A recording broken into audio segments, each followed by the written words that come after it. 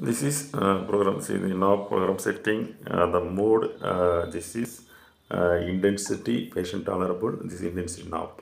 Okay, this is intensity knob. Okay, uh, after I will explain it. Then uh, this is name of the machine and uh, name of the material.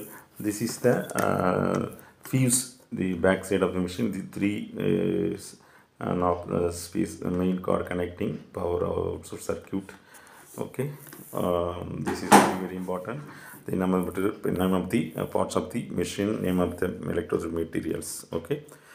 Um the common. Then uh, how to uh, anode and cathode find out.